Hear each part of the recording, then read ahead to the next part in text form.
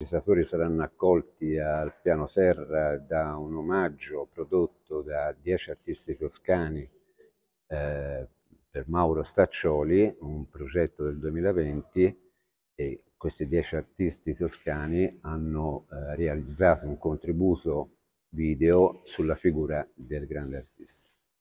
Eh, al primo piano invece saranno esposti i progetti della realizzazione delle, dei cinque tondi del 1996 per la città di San Giovanni Valdarno e i progetti del 2011 di Mauro Staccioli per la ricollocazione dei cinque tondi prodotti nel 1996.